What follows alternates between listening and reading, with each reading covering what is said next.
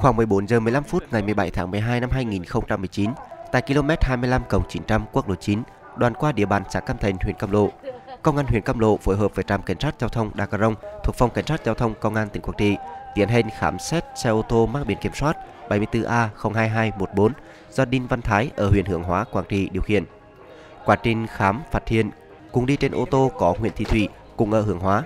Tại cốp xe và vị trí Thủy ngồi ở hàng ghế sau có tổng cộng 9 cá thể TT Java hay còn gọi là trút.